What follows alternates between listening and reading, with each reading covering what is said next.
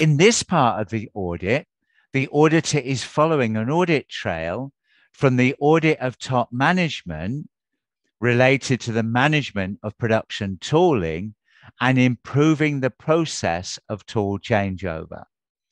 Watch this video to determine if the auditor is using effective auditing techniques. Right, AJ. So Dan was telling me about some continual improvement activities in the management of tooling. So do you want to just talk me through what those are all about?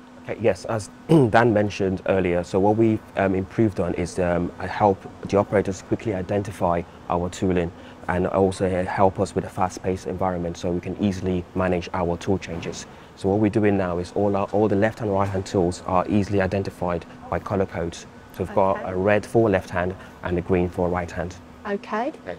And what are these numbers? So for? also to support um, quick finding of the tools, what we also have are the location identifications which correlates with the information on the tools as well. Okay. Yeah. And is this the only storage area for so tooling? We have another storage area. Um, if we walk that way, I can demonstrate that for you. Okay. Okay, so what do we have here then, AJ? So what we have here is you have the location information, which correlates with the information on the actual tool itself. Each tool also has the project, project code and number identified on it, so for easy identification and therefore allowing for the operators to quickly change tools when they need to. Okay, and th these ones are not color coded? So yes, these are not color coded because this is how we initially started and then we identified there's a need for color coordination to support our operators and as you saw earlier we have now the different colors. Ah, so it's a work in progress? It's a, it's, it's a work in progress but this is this, this demonstrating what we had before and that's what we're working on now. Okay, that's great. Thank you very much AJ. So let's summarize. A key requirement of IATF 16949 is 10.3.1 related to continual improvement, which includes the requirement for the organization to have a manufacturing process improvement plan with emphasis on reduction of process variation and waste.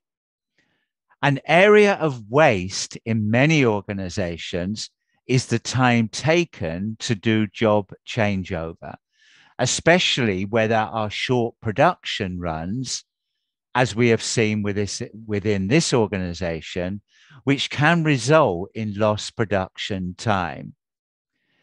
In this organization, they had focused continual improvement in reducing changeover time by improving the management of tooling which include the color coding, for example, for left and right handed tools, and also improving the rack labeling.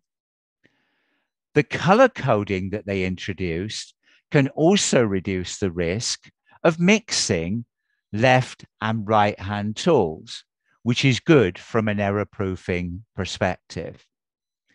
Auditors should verify doing an audit of tooling that the ownership of tooling is clear. And where the tooling is owned by the customer, IATF requirement 8.5.1.6 clearly states the organization shall verify that customer owned tools, manufacturing equipment, and test and inspection equipment are permanently marked in a visible location so that the ownership and application of each item can be clearly determined. In this audit, the auditor should follow up to verify that requirement has been effectively met. Finally, completion dates of continual improvement projects should be verified, which then should include the updating of any of the relevant quality management system documentation, which could include PFMEA, control plans, and any relevant work instructions. So let's summarize the key learning points. If we look at the goal of IATF 16949, it is stated as the development of a quality management system that provides for continual improvement, emphasizing defect prevention, and the reduction of variation and waste in the supply chain. During any audit, auditors should be looking for evidence of continual improvement. When continual improvements are made, auditors should verify that all the relevant quality management system documentation has been updated.